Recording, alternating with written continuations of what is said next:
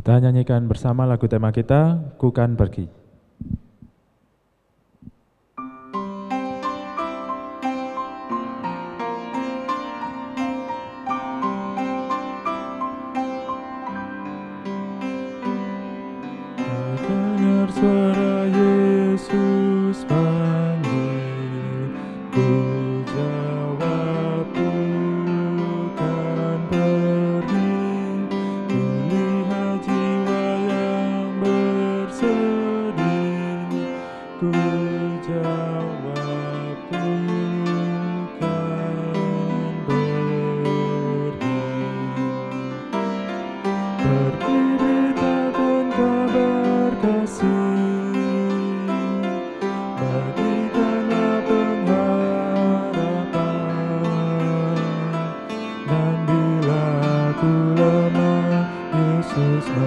love.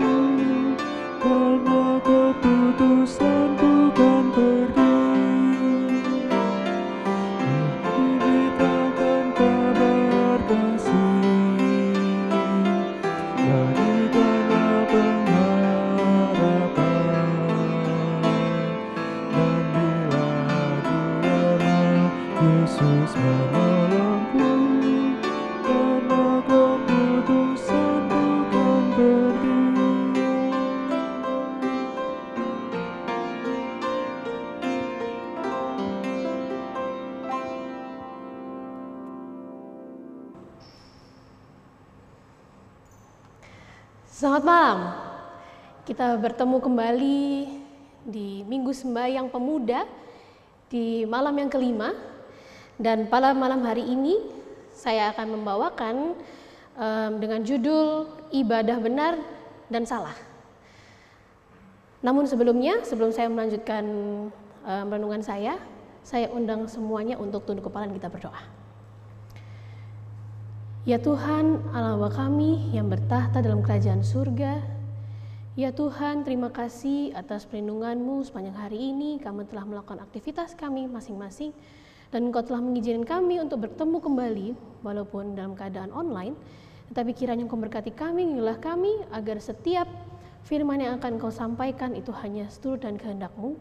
Dan bermanfaat dan mendekatkan, kami kepadamu saja ya Tuhan. Sembunyikan hamba di bawah kaki salibmu ya Tuhan, kiranya Engkau berbicara dan kiranya apa, apa yang Engkau bicarakan dapat kami mengerti dan seturut dan kehendakmu saja. Terima kasih ya Tuhan, inilah kami sepanjang perbaktian ini dalam nama Tuhan Yesus syukur. Amin. Jadi setelah tadi saya jelaskan, em, judul pada malam hari ini adalah ibadah benar dan salah. Di dalam kitab Wahyu ada tiga kekuatan jahat atau kekuatan setan dan yang pertama adalah naga di Wahyu 12 ayat 7 sampai 9. Yang kedua ada binatang. Wahyu 3 ayat 1 sampai 18 dan yang ketiga adalah nabi nabi palsu. Siapakah mereka? Tentu saya bilang naga, binatang, nabi palsu ini siapa? Siapakah mereka ini? Kita dapat dengan mudahnya mengetahui jika kita membuka Wahyu 12 dan 13. Di Wahyu 12 dan 13 ini mendef, mengidentifikasikan ketiga kekuatan setan ini. Dan ketiga kekuatan ini merupakan trinitas palsu yang dikenal sebagai naga, binatang, dan nabi palsu. Jadi di awal sudah dikatakan, sudah diperkenalkan kita kepada tiga oknum ini, yaitu trinitas yang palsu yang terdiri dari naga, binatang, dan nabi nabi palsu. Selanjutnya, em, khususnya untuk naga pada malam hari ini tidak saya bahas secara rinci karena tentang naga sudah dibahas di beberapa malam yang lalu. Em, untuk spesifiknya telah dibahas oleh saudari saudari, saudari Sally. Dan untuk pada malam hari ini saya akan membahas lebih tepatnya eh, mengenai binatang ini sendiri. Pada malam hari ini kita dibawa kepada Alkitab, tepatnya di kitab Wahyu 13 ayat 1 sampai 18. Di kitab Wahyu 13 ayat 1 sampai 18 ini terbagi menjadi dua perikop. Yang pertama, binatang dari dalam laut. Perikop yang pertama berjudul binatang dalam, dala- dari dalam laut itu terdapat di Wahyu 13 ayat 1 sampai 10. Dan perikop yang kedua tetap di Wahyu 13 judulnya adalah binatang dari dalam bumi. Wahyu 13 ayat 11 sampai 18. Kita akan memasuki ke bagian yang pertama, yaitu binatang dari dalam laut. Di Wahyu 13 ayat 1 sampai 10. Kita bisa membuka Alkitab kita masing-masing di dalam Wahyu 13 ayat 1 sampai 2. Jika saya boleh rangkumkan di dalam ayat ini, di dalam dua ayat ini dari ayat 1 dan 2, di sana dijelaskan bagaimana ciri-ciri binatang yang keluar dari dalam laut ini. Yang pertama, binatang ini keluar dari dalam laut. Yang kedua, binatang bertanduk sepuluh. Binatang ini menggunakan, mengenakan sepuluh mahkota. Dan yang keempat, binatang ini berkepala tujuh. Dan binatang seperti macan tutul. Yang keenam, binatang ini berkaki beruang. Dan yang terakhir, binatang ini memiliki mulut singa. Seperti um, gambar yang telah tertera di sana, saudara-saudara yang di rumah maupun yang ada di gereja ini bisa melihat bagaimana uh, wujud dari binatang yang dideskripsikan di Wahyu 13 ayat 1 sampai 2 ini.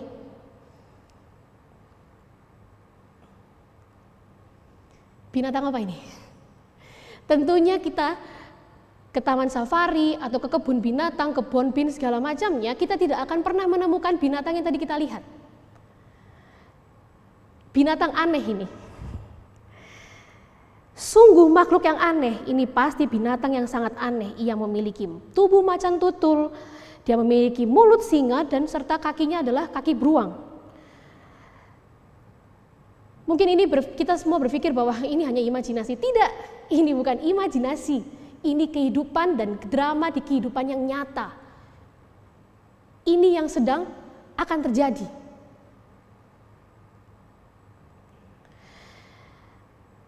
Setelah kita melihat bagaimana binatang ini begitu aneh, kita tentu berpikir bahwa apa yang sedang Tuhan ingin ajarkan kepada kita, apa yang sebenarnya Tuhan ingin sampaikan kepada kita melalui binatang-binatang yang menurut kita ini cukup aneh. Dengan segala perlambang-perlambang yang ada dan dinyatakan di dalam Alkitab, tentunya kita akan berpikir bahwa ini apa.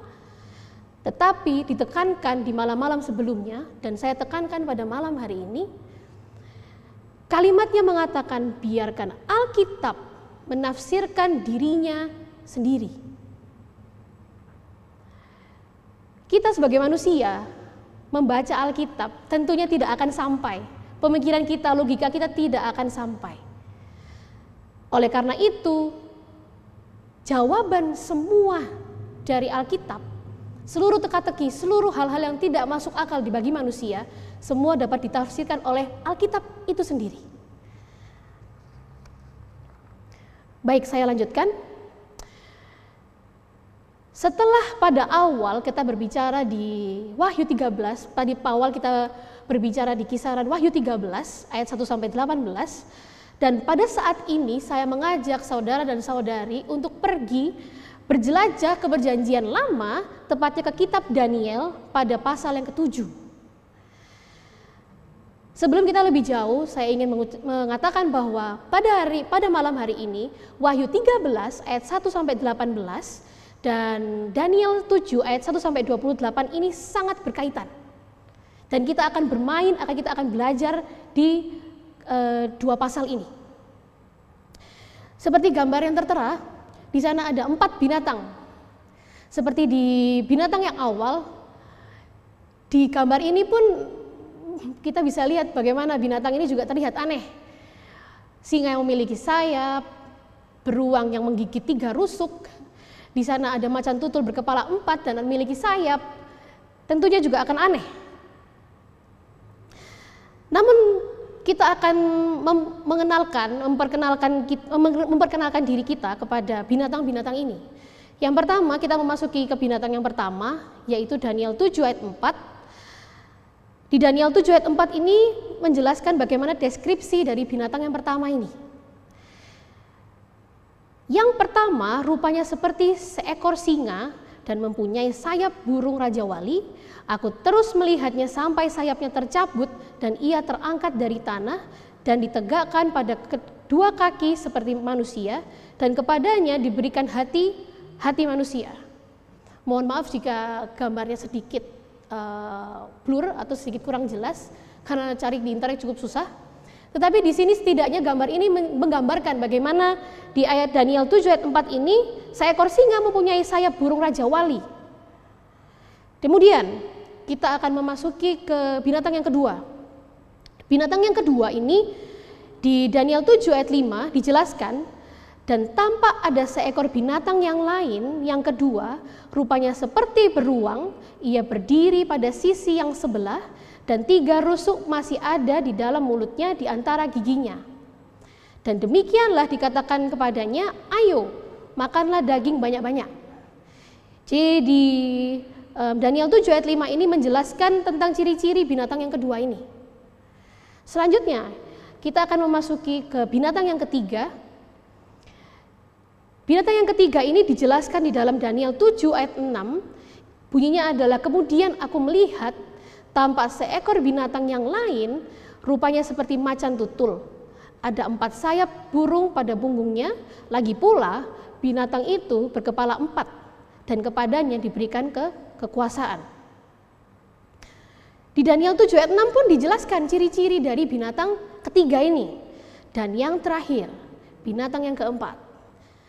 Di Daniel 7 ayat 7, Kemudian aku melihat dalam penglihatan malam itu, malam itu tampak seekor binatang yang keempat yang menakutkan dan mendasyatkan. Dan ia sangat kuat, ia bergigi besar dari besi, ia melahap dan meremukkan, dan sisanya diinjak-injaknya dengan kakinya. Ia berbeda dengan segala binatang yang terdahulu, lagi pula ia bertanduk sepuluh. Jika kita um, kilas balik um, tiga slide sebelumnya, di dari binatang pertama sampai binatang yang ketiga, setidaknya kita memiliki gambaran bagaimana binatang-binatang ini. Setidaknya wujudnya ini kita bisa bayangkan, walaupun sebenarnya tidak normal, aneh. Tetapi dari binatang satu sampai ketiga itu bisa dijelaskan, kita bisa memiliki bayangan. Oh, seperti ini, seperti ini, seperti ini. Tetapi tidak kepada binatang yang yang keempat. Binatang yang keempat ini bahkan Daniel pun ketika um, Daniel ini mendapatkan penglihatan, dia merasa bahwa saya pun tidak bisa mengartikan ini.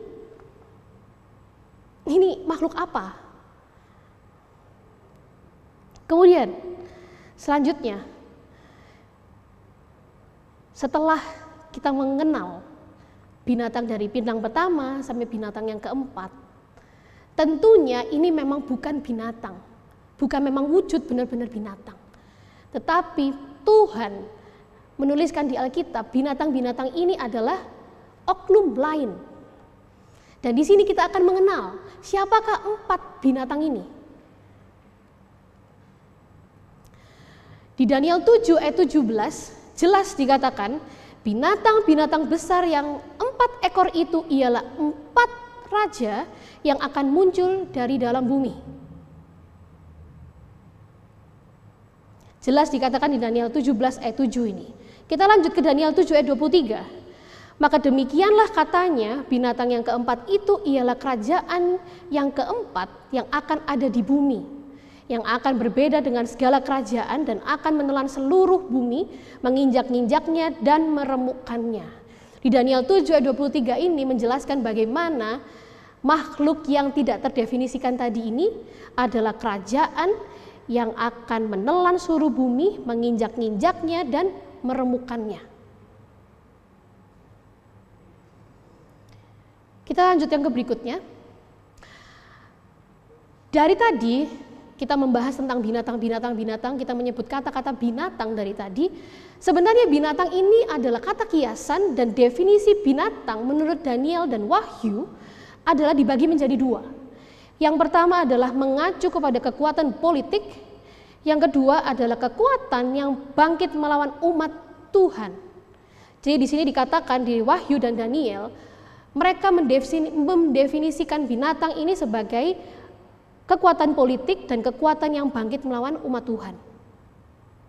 Oleh karena itu, Alkitab mendefinisikan empat binatang dalam Daniel 7 dengan empat kerajaan besar dalam sejarah. Seperti yang kita tahu, ada Babel sebagai binatang pertama, ada Media Persia sebagai binatang yang kedua, dan ada Yunani sebagai binatang yang ketiga, dan binatang keempat adalah kerajaan Roma.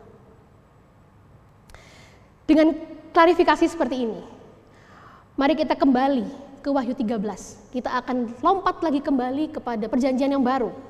Di mana kita menemukan empat binatang ini diringkas menjadi menjadi satu. Seperti gambar di awal, empat binatang ini seperti singa yang memiliki sayap, beruang memiliki uh, yang menggigit tiga rusuk yang masih tertinggal di giginya, dan macan tutul yang memiliki empat kepala dan empat sayap serta makhluk yang tidak terdefinisikan ini ada menjadi satu binatang di Wahyu 13. Dan seolah-olah itu menunjukkan bahwa mereka semua diatur oleh kekuatan kekuatan yang sama.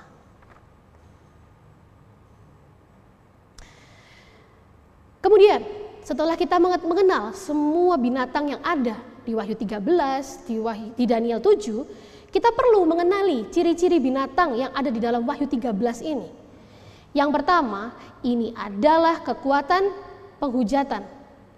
Di Wahyu 13 ayat 6, lalu ia membuka mulutnya untuk menghujat Allah, menghujat namanya dan kemah kediamannya dan semua mereka yang diam di diam di sorga. Alkitab menyajikan dua tindakan sebagai penghujatan. Alkitab ini menganggap bahwa dua tindakan yang akan kita baca ini sebuah, sebuah penghujatan. Tindakan yang pertama adalah mengklaim kuasa untuk mengampuni dosa. Di Lukas 5 ayat 21, saudara bisa baca nanti. Dan yang kedua, mengambil tempat Allah dan meniru dia.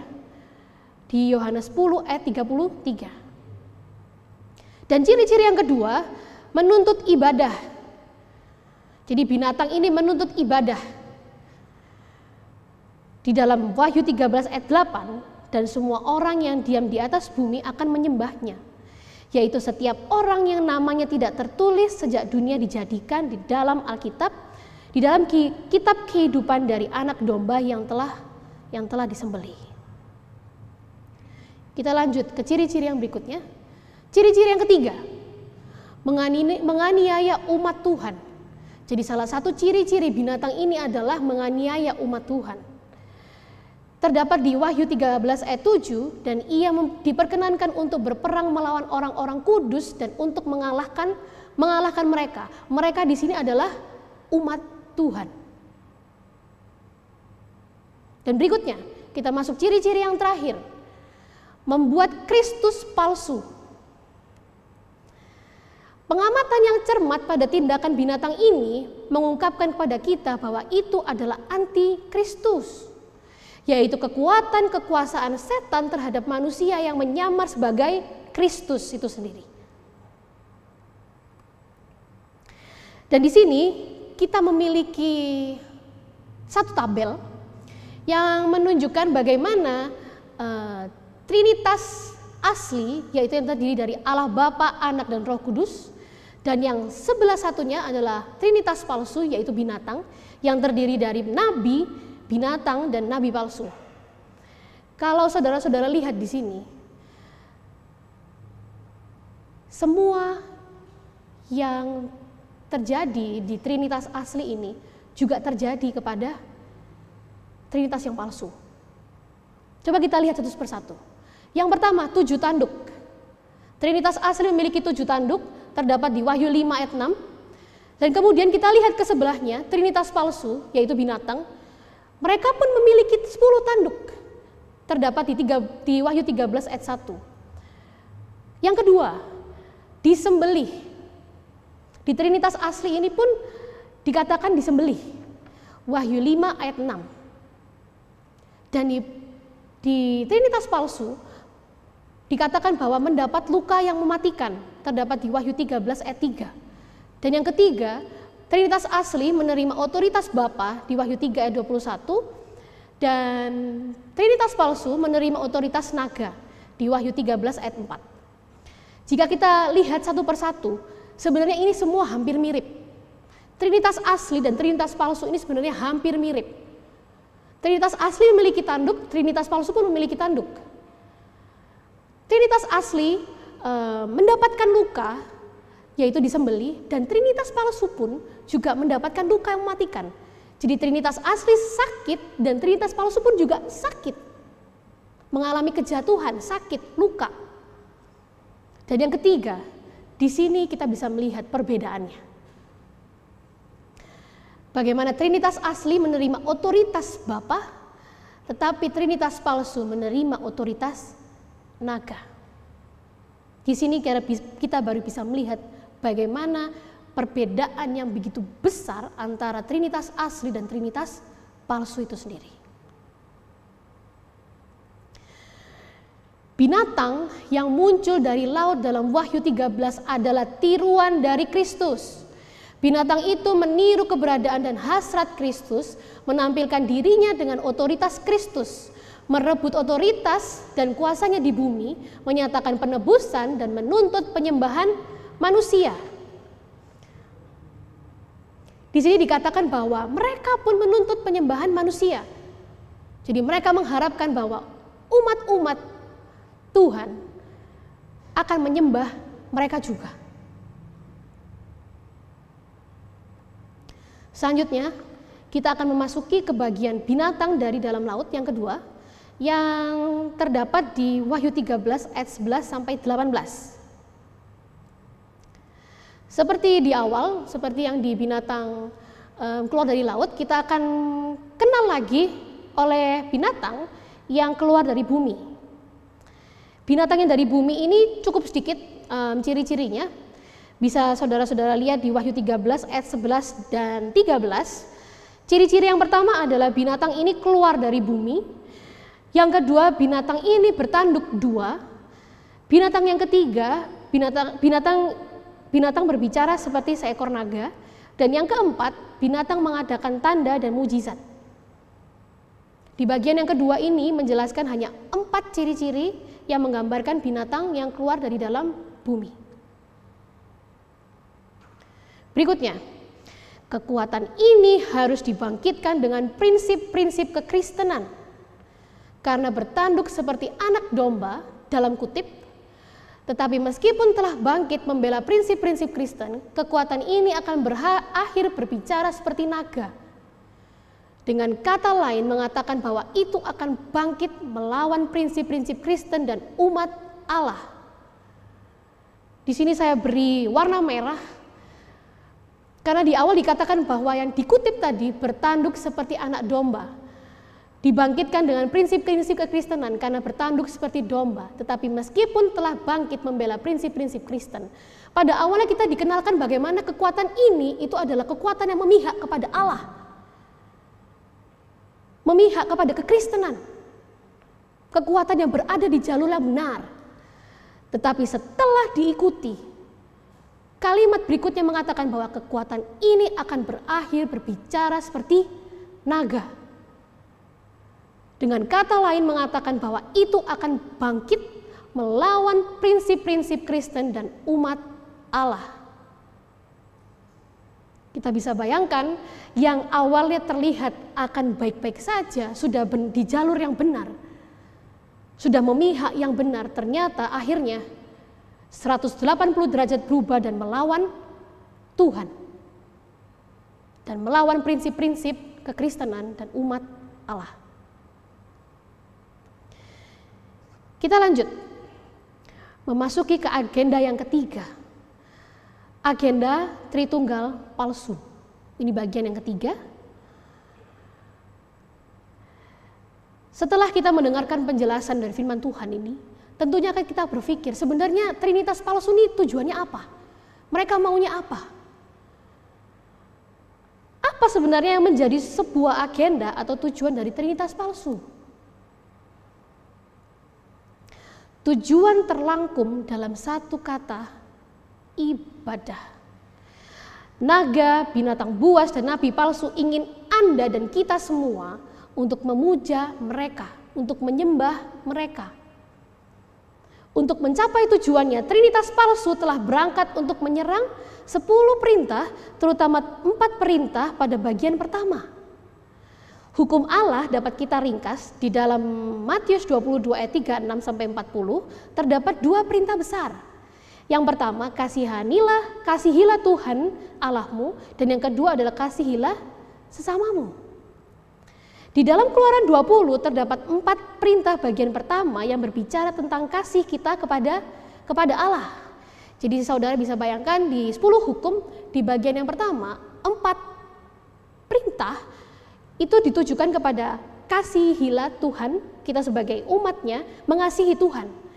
Dan bagian yang kedua, enam perintah kemudian itu adalah bagaimana kita mengasihi sesama kita.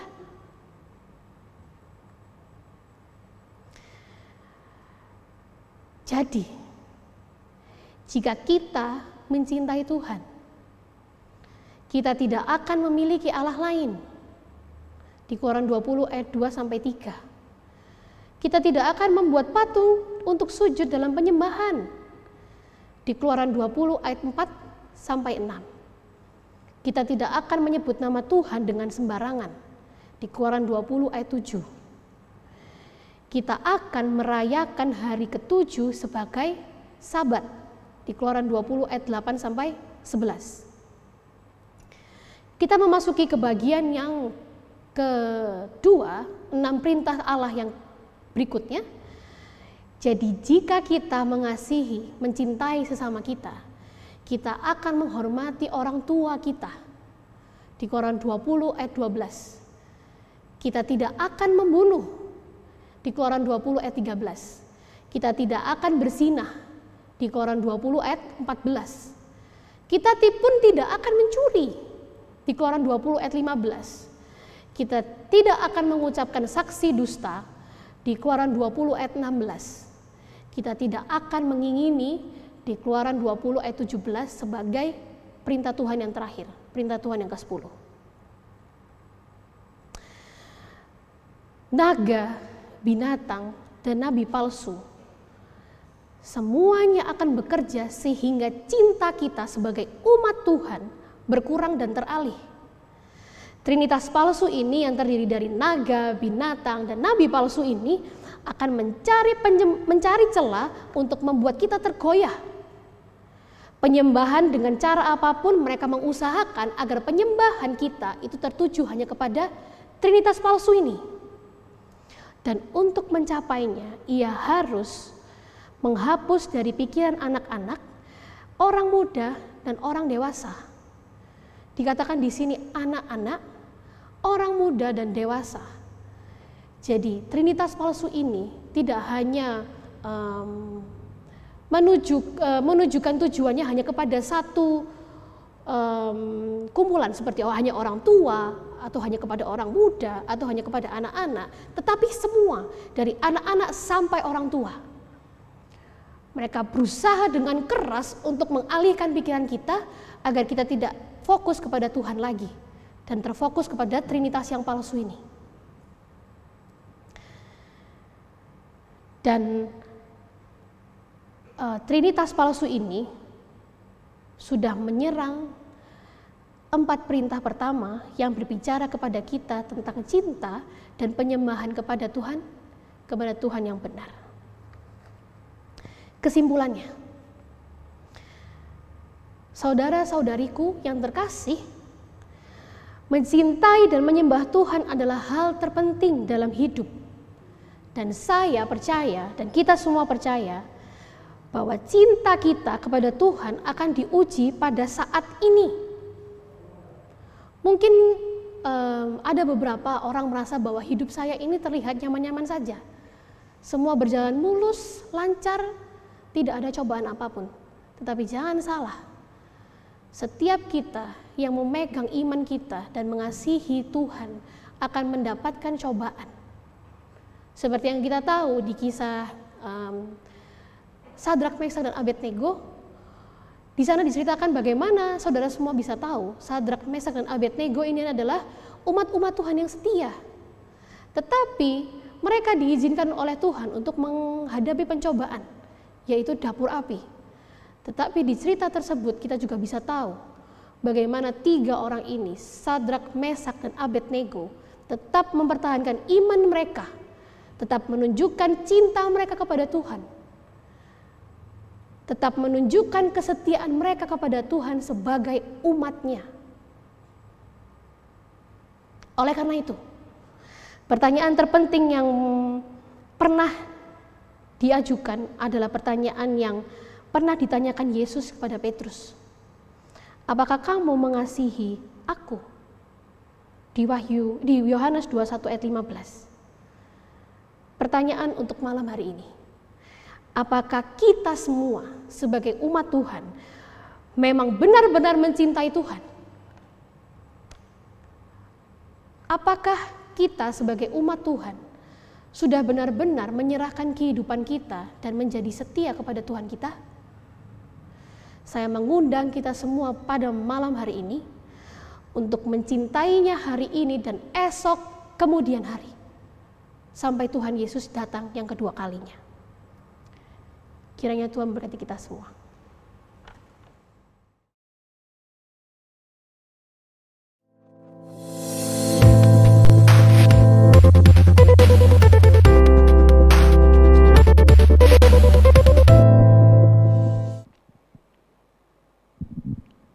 Untuk menutup perbaktian kita pada malam hari ini, kita nyanyikan bersama dari lagu Sion nomor 280, Muliakanlah Allah.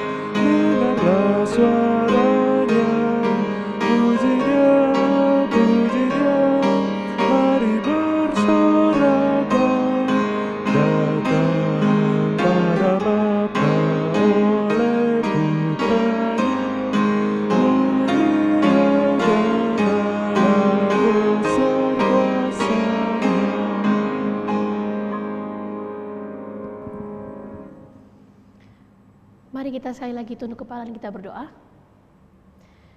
Ya Tuhan, Allah kami yang bertahta dalam kerajaan surga. Ya Tuhan, terima kasih. atas firman yang telah Engkau berikan kepada kami pada malam hari ini. Ajarlah kami ya Tuhan untuk selalu mendekatkan diri kepadamu ya Tuhan. Tariklah kami ya Tuhan untuk mendekat lebih kepadamu ya Tuhan. Jangan biarkan kami sendirian ya Tuhan.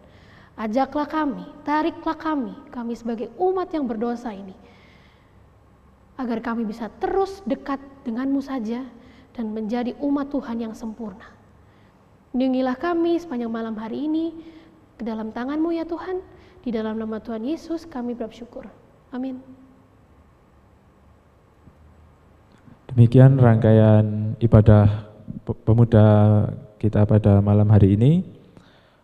Uh, kembali kami undang kepada saudara-saudari sekalian untuk boleh mengikuti acara perbaktian kita pada besok malam pada jam yang sama di channel YouTube yang sama dengan materi Materai Tuhan yang sebenarnya yang akan dibawakan oleh Saudara Salumu. Kembali kami undang kepada saudara-saudari sekalian untuk boleh mengikuti perbaktian kita sampai penutupan yang akan dilaksanakan pada hari Sabat yang akan datang. Oleh karena itu, kembali kami himbau kepada saudara-saudari sekalian yang hendak mengikuti perbaktian secara offline di gereja, boleh untuk mulai mengisi form pendaftaran yang telah dibagikan di WhatsApp grup WhatsApp Jemaat Dieng.